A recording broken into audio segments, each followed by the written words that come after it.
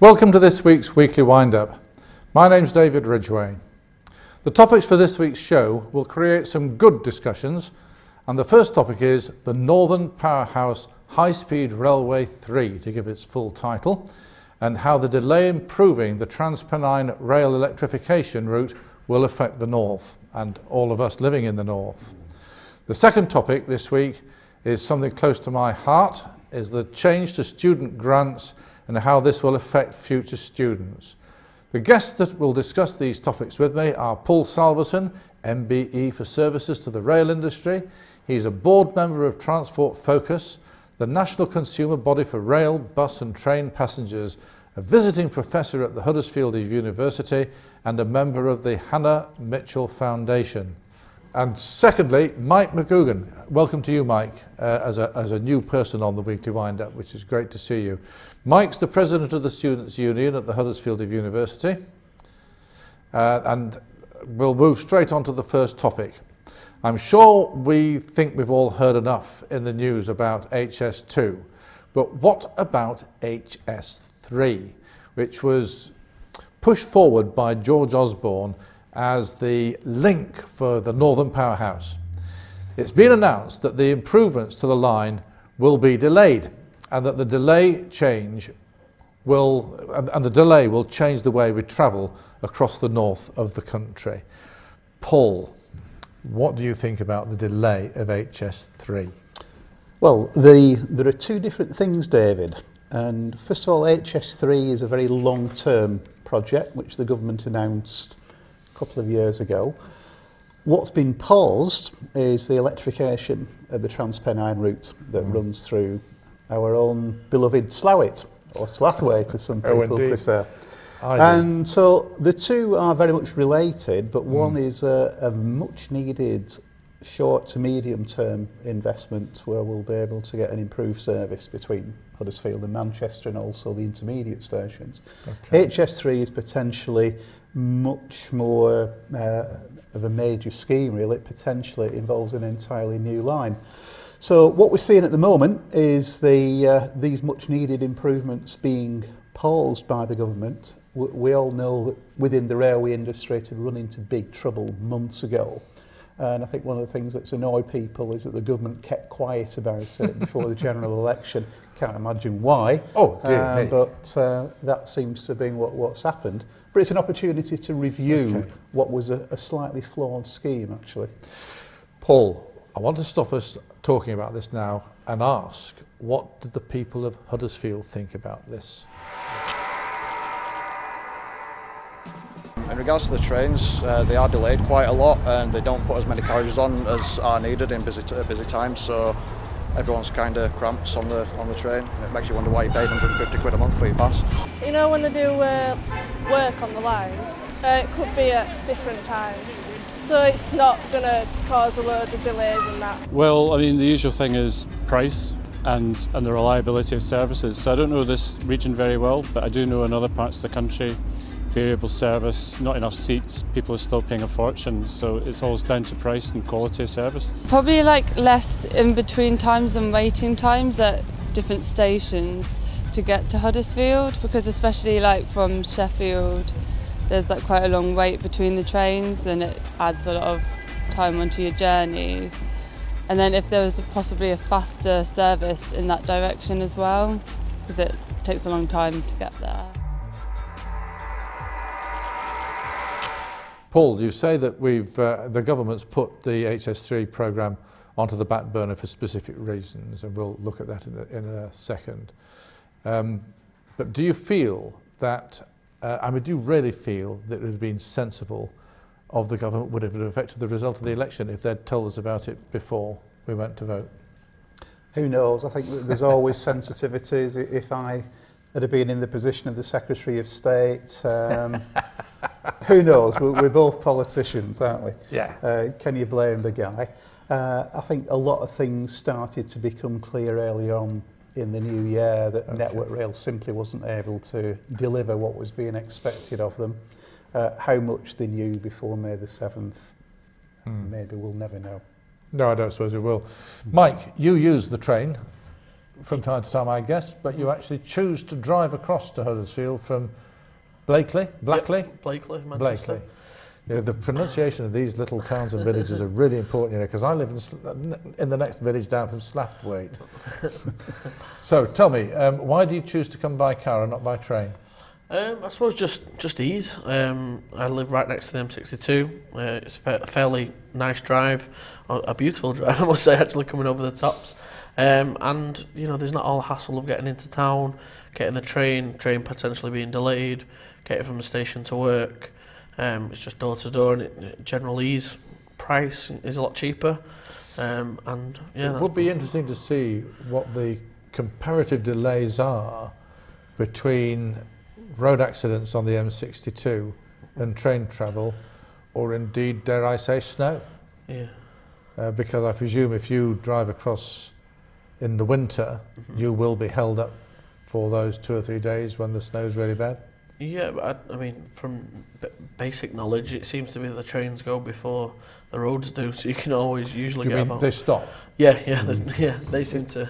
When it's the wrong kind of snow. now that last happened on the Penistone line, but we're not here to talk about that. Okay, so um, the public transport in London. I've been told that this is mainly a privatised organisation, but that's not right, is it? It's a sort of public-private partnership these days. London's transport is probably more publicly controlled, certainly publicly specified, than it is up here. Transport for London, which is accountable to Boris, the mayor, uh, is very much a public sector body, but buses and trains are provided by the private sector, but to the specification, the very detailed specification of Transport for London. And Mm. that's a model which is certainly being looked at in the north of England, and it's a model that has a lot going for it. Is it true that we're going to have old tube trains running on our railway lines in order to actually create HS3? Well, again, the, the two aren't directly related. Uh, there's a fleet of ex-London transport tube trains are being refurbished to a very high standard, it has to be said. And again, with, with politicians, it's very easy to say, oh, well, the North's being uh, landed with a load of second-hand rubbish from London. But actually, let's have a look at what these vehicles are like. I'm actually going down to the West Midlands in a few weeks to see this train from Okay. a, a passenger point of view from Transport Focus. So it'd be interesting to see what sort of a job they've done. The people who are doing the work, including um, a, a Huddersfield lad, Alan Dare, who spent a lifetime in the industry. These aren't people who just think, well, you know, let, let's make a, a quick buck from crap trains, basically. I think it's going to be a good quality refurbishment. The downside is that they aren't very fast. They're good acceleration, but they only run up to 60 miles an hour. So hmm. th- there's going to be issues, and there's going to be issues of cost. It's not going to be a cheap option.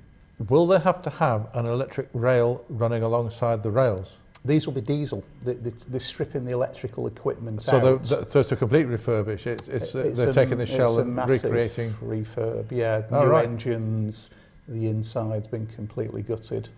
So I think it's a case of you know don't just assume that you know this is you know the north being shortchanged again.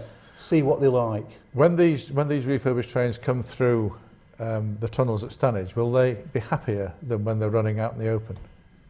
I don't know. You'll have to ask them. if you know, a big smile on the face, they're happy. Yeah, yeah, Thomas. But I think, you know, let, let, let's see. I think it's a sort of solution that will, if it can be delivered quickly, it might help some of the capacity problems that we've got. It's not a long-term solution. I don't think anyone's suggesting it is. Now, uh, that, that's all the transport side of it, but transport is only one part of the government's um, platform with regard to the Northern Powerhouse.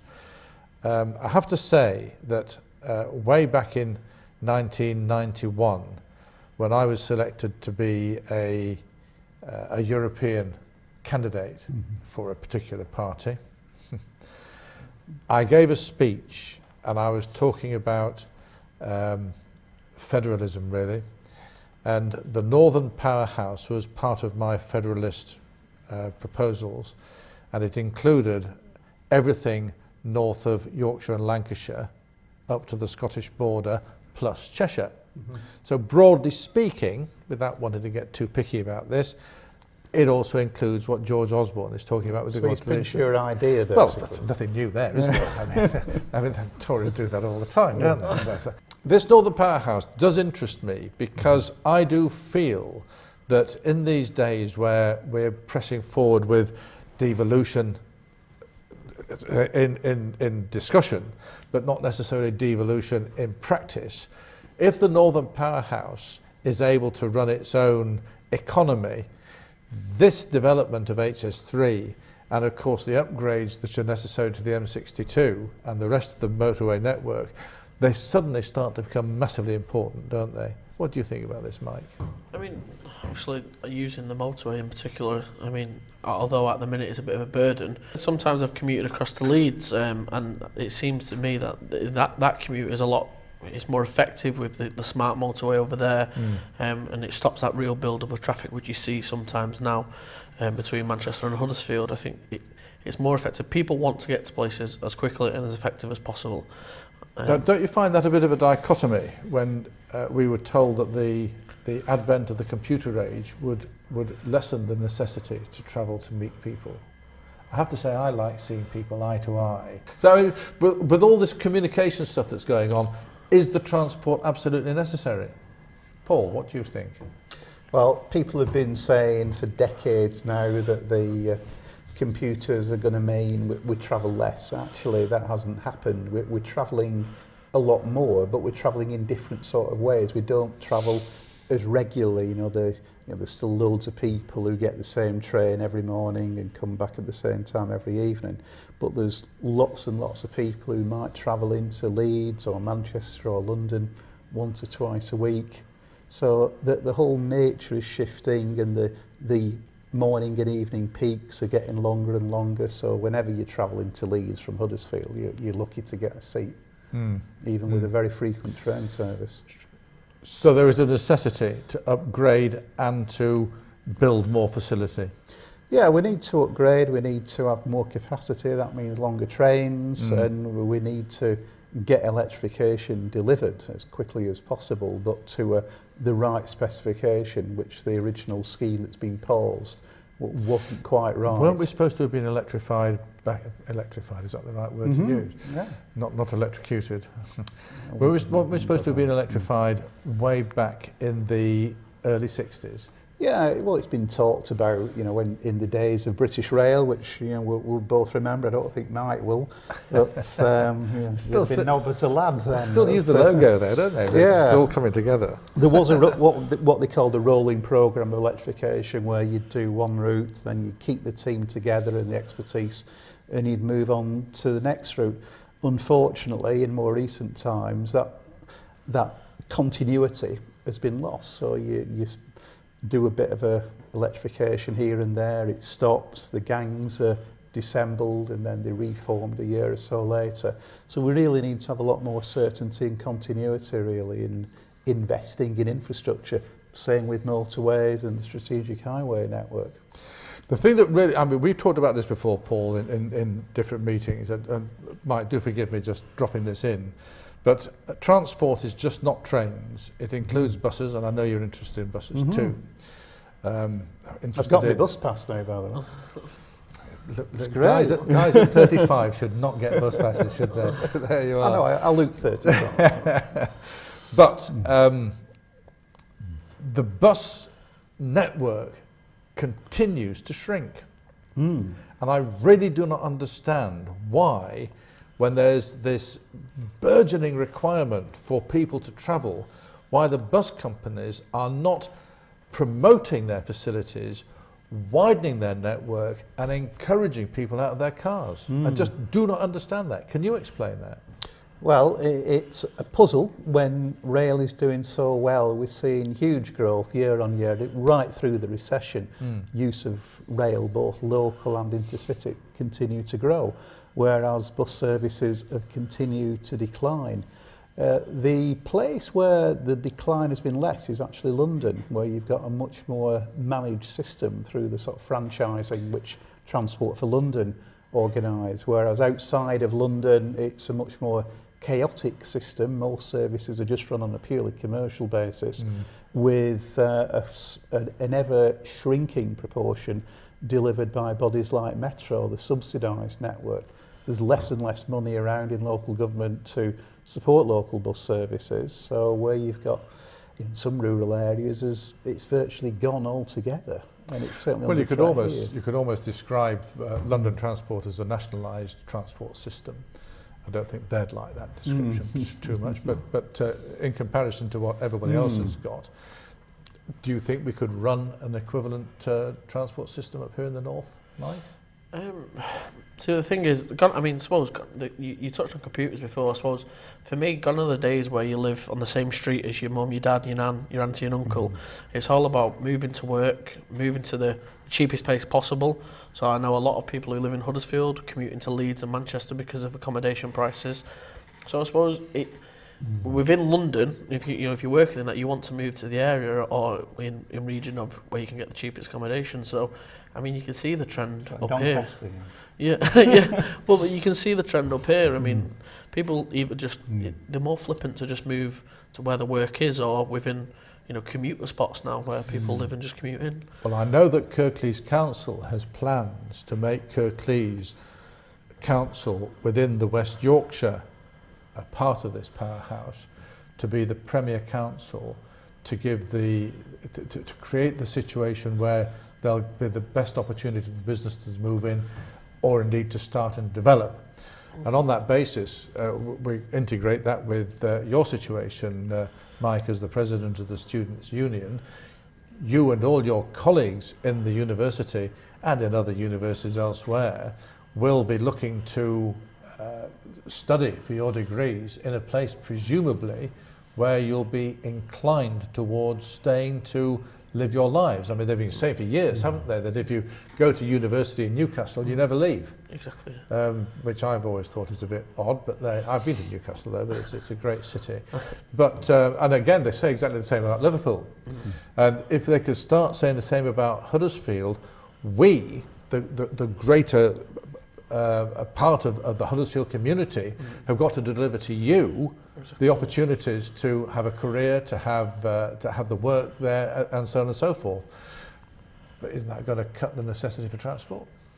No, I don't. Might increase the amount for buses. I, I don't think it will. It's about making places attractive to to live and to I develop agree. your career. I and I think more and more students do seem to be staying in Huddersfield. You know, so anecdotally, I bump into them in various bars. and I think that's one of the things that, that I know we're straying away from transport now, but you've got a really vibrant pub, club, bar culture in, in Huddersfield. We've got some good eating places. And indeed so, on the ale trail.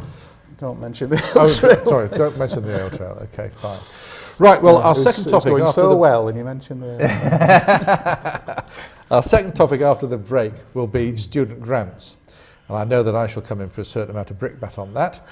So we're now going to take a break. The weekly wind-up can be contacted by email at info at kirkleeslocaltv.com or on Twitter at the weekly wind-up, and we are indeed to be found on Facebook. All of these things which I find very confusing in this modern age. Thank you very much.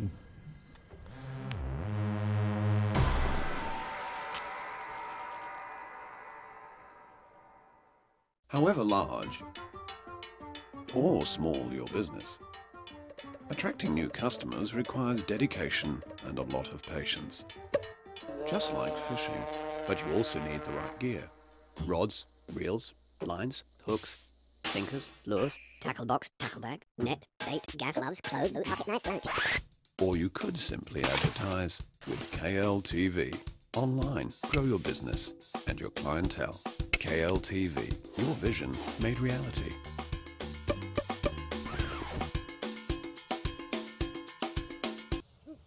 Should have gone to KLTV.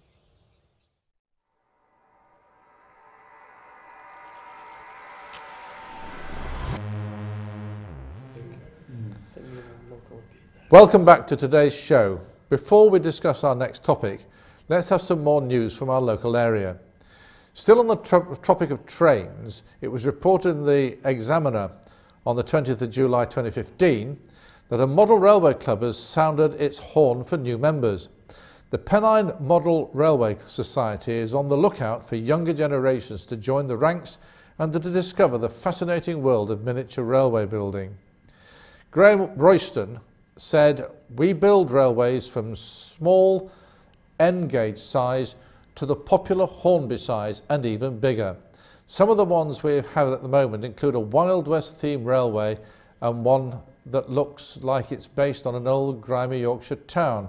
Uh, the club will host an open day on the 1st of August at St Philip's Community Centre on Browlin Road, where visitors will be able to have a go with the model railways themselves. Mike, you're the president of the Students' Union, and students have been in the news now for five years and a bit on the basis that, uh, if I can put it this way, five years ago in 2010, some students uh, got Nick Clegg in a corner and tied him up to making a promise that if he got into government, which would have been a big surprise at that stage, that he would deliver free student fees. And then um, he got into government and immediately cancelled the programme. Um, I think that's a good starting point. What do you think about that? Um, I suppose I'll reserve my opinions on Nick Clegg on that one.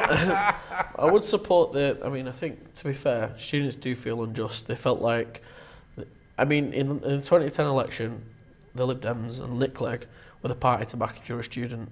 You know, they they they put the hat out and they said, you know what, if we get in, we're gonna the, the, we will cut fees and. You know what, and, and, and to target such a vulnerable age, which is students, I mean, you sometimes 18, 19, just your first vote. I mean, I was one of those, and mm. I would generally believe that Nick Clegg could have went in and done that. And I'm sure they didn't hold him up because he held that picture up himself where he said, "I will, you know, back the cutting of fees." So, but he went in. I, I understand that he, he probably had a lot of. Um, he didn't have a full majority of himself, and it's a difficult decision when you're in there, but the NUS did an excellent campaign, and the last thing, you know, one of the better things the NUS have done in the past few years, where on his on the recent 2015 general election, you know, paraded, you know, the bite back, as it were, so giving it a bit back, which is really nice to see students in a right way, pushing the message of, you know, if if you're going to promise us something, deliver it, and I think they're a loud voice of students. So it's a very strange thing, you know, that. Um, free student education, as far as I'm aware, has never actually been on the political agenda for the Labour Party. Mm-hmm. And yet, Mr. Miliband did say we would um, free up £6,000 per annum for students, and yet it mattered not one jot. Whereas Nick Clegg, um, for all his, uh, to put words into your mouth, which is my prerogative, uh, for, for all his volte-face, uh, it is still uh, on the agenda, as far as I understand, of the Lib Dem um, uh, long-term policy to create um, a situation where students get their education based on the state. And I think that's good and honest um, politics on the basis that it is society's investment in this country, in the education of the people in this country, in order to achieve the best out of your generation to look after our generation. And then when your generation becomes our generation, it's the best thing that your generation can then do to look after your generation with the one that's coming in behind. And until we get a long-term process of understanding the economics behind all this, it's just going to be a political football. And I don't think politics should enter into education at all anyway. So there you are, that's my neck on the block. What do you think of that? Um, no, I understand where you're coming from, but I mean, these are the people who are running our country, and if, if you look at any market research, the proudest thing that people from Britain are proud of is our education system. Correct. People come from all over the world just to come to one of our universities, and and so be it. We, we're a great country for, you know, our, our education, and it depends how you look at it. Because I mean, we, we have students who don't clearly understand that when the fees went up, that it was the government's doing. I mean, some students still believe that it's universities trying to make more money now. So, and but now we're in a position where at university, three times the fees, three times the expectation. So students are wanting a lot more for what uh, and the bang for the buck. And fortunately, we're in an excellent place in Huddersfield. It's a great university, debt free, but not everyone can say that. I mean, and you have to go up with the fees because look at what happened to Leeds Met. Yeah. And they didn't. Yeah, and they're absolutely still, right. they're still recouping that now. Well, let's just listen to what some of the, the public had to say about this. Uh, we asked members of the public to give us their views on student fees and uh, not going to university because of the costs involved. I just missed out on the cost rise, and I think if it had gone up, I would have thought a lot more about going. I don't think I would have been as tempted at all, and I think like the numbers sort of dropped a bit and people being interested. I think that it should be like the, the threshold for having to repay the loan should be raised and there should be a condition whereby they have to be consistently earning X amount of money for a certain period of time so that you know they are on the feet and they are you know they have got the routine and stuff settled once they get out and they need to put more work experience on the on the university courses for degrees as well. You don't have to pay it back until you're earning a certain amount of money. So it's not too bad. I'm sure that does weigh in their decisions. So, I mean, a lot of students these days are choosing financial options, which means staying at home, stay at home, no travel, and it's a missed opportunity, in my opinion. So, Mike, tell me, um, how do you go about repaying these uh, loans, which these fees are going to be converted into by, I gather, the new government diktat? How are you going to repay all these loans into the future? I mean, yeah, the way, the, I mean, the thing which has come out recently is, is the maintenance grant. So, I mean, this is purely based on you've got your loans, which is £9,000, ridiculous if you ask me. However, now it's now the maintenance grant, which was usually about two and a half, three thousand pound, which is basically your food, you know, how you live, and sometimes comes to subsidise a lot of your rent. So, I mean, think about that and what what pe- who would get that. I mean, fifty percent of students in our university uh, to obtain that grant, and now they're going to have to pay that back. So you're talking twelve thousand pounds before you've even started now. And that's Is- a year, of course. Yeah, per year, yeah. Is this going to affect um, such things as um, the devolution to the Northern Powerhouse? I think it will have an impact. I, I think, to me, I, I went to Lancaster University back in 1971, and those were the days when you, you got a, a grant, you could live on it. You know, it wasn't that. We didn't think it was that generous at the time, but looking back, it, it certainly was.